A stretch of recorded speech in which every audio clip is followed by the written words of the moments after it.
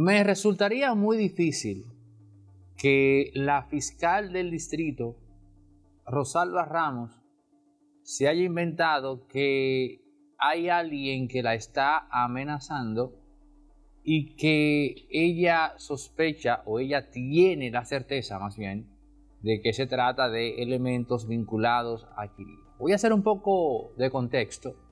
Ella dice que hay una persona que le está exigiendo el pago de unos 13 millones de pesos que supuestamente habría dado Quirino en el año 2004 2005 para evitar una extradición que a final del día se concretizó. Pero más aún, ella ha hecho partícipe de esto a la propia Procuraduría. Y sorprende la respuesta que nos ha dado este organismo. Y es que no le compete a ellos.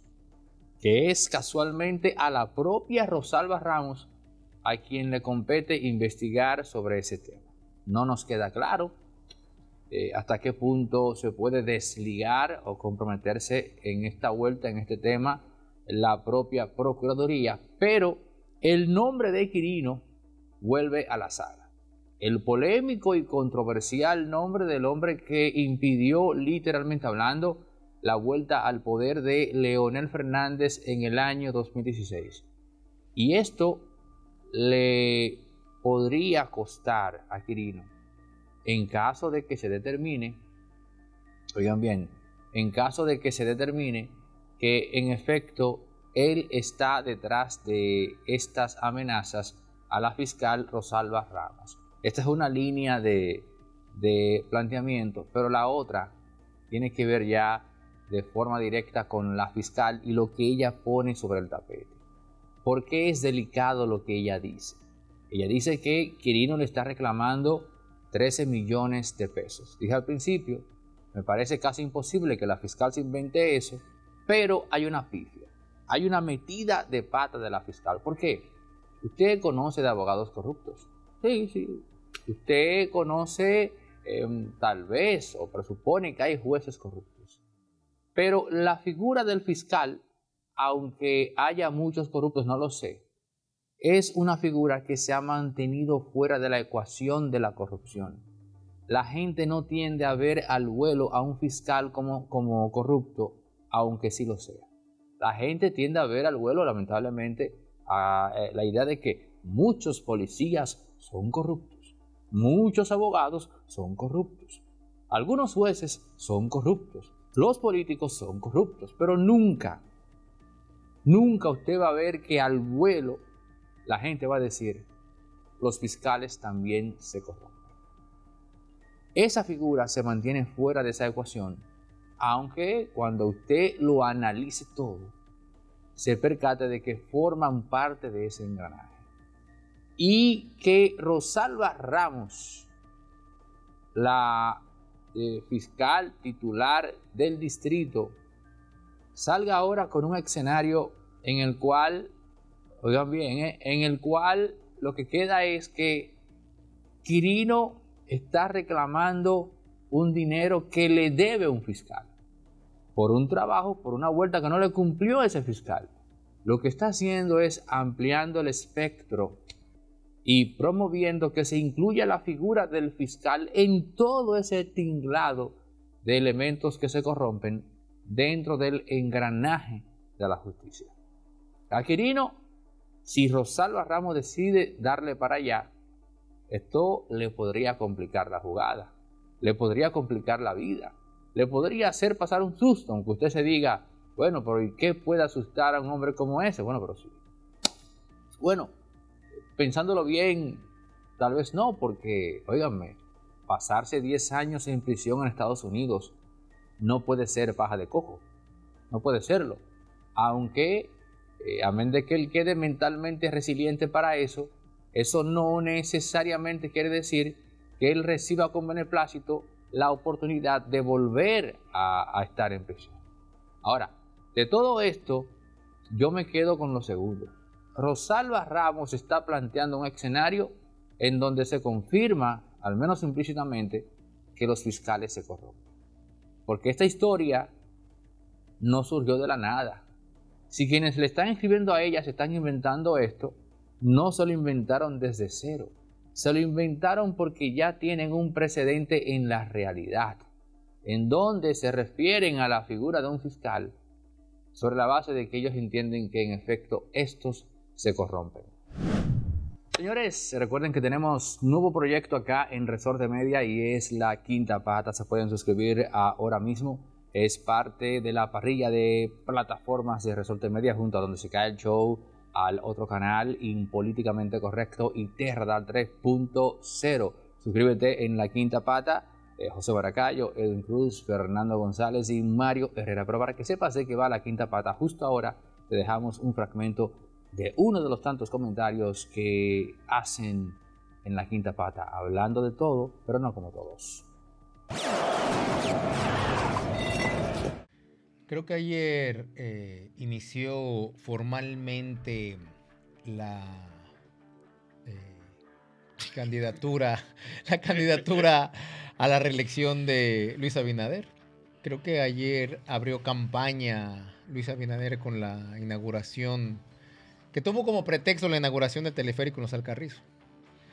Me mm. parece que. Ah, pues se, ha, vuelto una cultura eso. Aquí en este país. Lo que me llama la atención La apertura de su campaña electoral para su reelección. Pero dijo algo sobre eso. No, pues llevó a toda la gente permeísta de aquel lado con pancartas y banderas y gritando cuatro años más, cuatro años más. Yo creo que ya. lo referenció. ¿Qué cambio, ah? El cambio, el cambio. No, pero a mí lo que me llama la atención es lo siguiente, ¿Recuerdas cuando se inauguró el teleférico Santo Domingo? Sí, que hizo Danilo. Claro. ¿Tú te recuerdas la campañita en contra? Que es un sistema atrasado, que es un desperdicio de dinero que tenía la oposición. Le hacen PRM. Hoy en el gobierno hicieron una campaña de expectativa toda una semana. Se va a inaugurar el teleférico, viene el teleférico, hoy hay el teleférico para que tú veas cómo cambia la mentalidad. Pareciera que ahora ya no son oposición, el poder pues ya no son oposición. lo vieron como un proyecto bueno y valioso. Acuérdate que el, trabajo de la oposición en su momento es criticar todo todo bueno o malo que haga el gobierno es para malo para la oposición. No, no, no. Yo, no es el trabajo de la oposición. Es el trabajo de la oposición. es, el trabajo número uno. ¿Y qué se hace aquí? Aquí hay política, aquí hay mm. politiquería y politiqueros. No, eso no es verdad. No, mira, mira, a mí lo. En México, porque cuando. Aquí, político de Y en todo caso, si es en México, es porque eh, eh, República Dominicana tiene mucha influencia del sistema político mexicano. Y eso lo inició Balaguer. Bien, a mí lo que no, a mí no me molesta ese asunto de las obras. Total. O sea, para que se roben los cuartos, que, que lo dejen en algo, ¿no? A mí lo que me incomoda realmente es la hipocresía. Es decir, estamos hablando de un gobierno que predicó el cambio y lo que eh, está haciendo, según tú, ¿verdad? Según tú, que viste gente ahí, que esa gente no se mueve sola, esa gente hay que pagarle el transporte, la comida, una logística y todo eso, autorizada por el presidente de la República, porque nadie se va a atrever, a atrever a hacer una movilización y de esa forma para que le agarre de sorpresa al presidente. Para nada, o sea, por Dios. Entonces, haciendo, ah, está bien, haciendo lo mismo que tradicionalmente hacen todos estos benditos políticos que cuando se quieren lanzar la reelección eh, agarran cualquier obra que, para de inauguración esté lista o no, eso no importa, eso es lo de menos, para hacer entonces campaña, eh, campaña ya. O sea, como lo hizo Leonel con, con, el metro, ¿te acuerdas? Eh, lo hizo Danilo con el teleférico ahora que ahora yo pienso nadie ha superado a, Lionel, porque Lionel por lo menos lo hizo con un metro. Estos tigres no han pasado un teleférico. O sea, eh, eso... eso Danilo, acuérdate que inauguró la segunda línea del metro. Danilo, ¿por qué lo hizo? Sí, pero ya perdió novedad. El primer metro de la, de la ciudad de Santo Domingo. O sea, eso fue un acontecimiento. ¿Y, Ciudad Juan Bosch? Ah, no. ¿Proyecto grande? Ciudad Juan Bosch.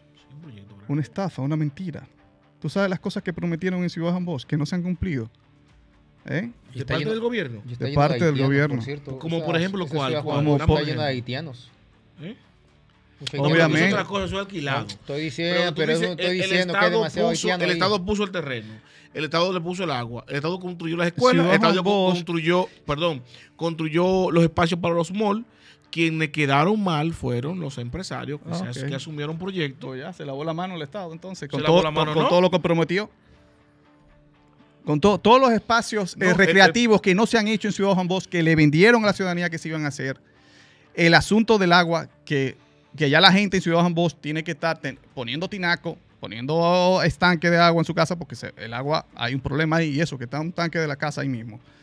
Eh, eh, se No, va la luz, igualito se va la luz.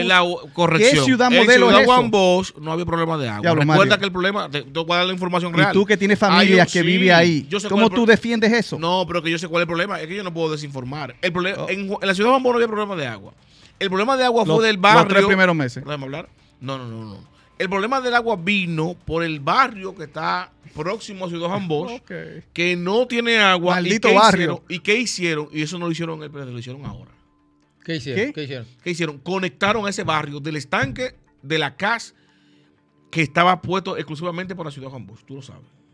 Conectaron al barrio entero, y la gente se conectó y hay un, hay un desorden en el agua. En lugar de poner más estanque, poner más, eh, más, más acopio de agua para, para la zona. Esa es una. Y la otra es, recuerda que también las, las empresas, por el tema del costo, eh, estamos hablando que se fue ampliando, y eso sí empezó desde el gobierno pasado, empezaron a, a- ampliar el umbral del, del costo de la vivienda de, bajo costo. Valga la redundancia.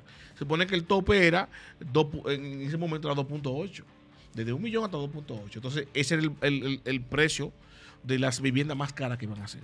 Cuando lo amplían, dije, no, para que tengan casa mejorcita, lo que pueden. Ah, lo subieron a 3.2, después a 3.6, va por 6 millones. Entonces, dime dónde un pobre puede meterse en una casa de 6 millones de pesos. Y de aquí Ni y, antes y ni hasta ahora. allá, al hipódromo, para allá, arrinconado, porque con 6 millones tú te compras algo decentemente. Sí, pero lo que está No, diciendo Mario, todas esas, peor de modifica- eso, todas esas Fernando. modificaciones a esos contratos y esas vainas, el, est- el, el- el gobierno de Danilo Medina no, no, no, no, no, no protegió nada de eso. Dejó todo eso abierto. A que la gente le... Que subieran tuvieron precios. Claro, viejo. No, y porque- engañaron no. a la gente diciéndole que eran tasas Sí, fijas que no. a 20 años. Eh, no, y de no, repente hay- no, hay- había un su, tema. su, su, su interés subió ahora de 8 a 12%, pero no era fija, 20, 8% 20 años. Sí, pero es la primera etapa Maldito del proyecto. engaño. Se rompió la naturaleza Sí, de pero ese eso no fue el gobierno, fue los empresarios la que lo naturaleza hicieron. de ese Sí, pero el gobierno tenía que- que brindar. tuyo es que tú exoneras, yo Mira. no entiendo, tú tienes tu paja mental y tú exoneras de todo al, al sector privado, que fue que, quien cogió- quienes cogieron todo el encaje legal que se liberó para la construcción, Que se lo dio el gobierno. sí, al- pero a la empresa privada. Y no le- para que, para y que le di- pudieran y- le dio carta blanca para que lo que pudieran construir y el encaje se liberó para poder colocar las, em- la- las viviendas a un 8% y todos los problemas que vinieron por eso, que tú lo sabes, que la gente fue y se precalificó. ¿Quién da la precalificación? El gobierno.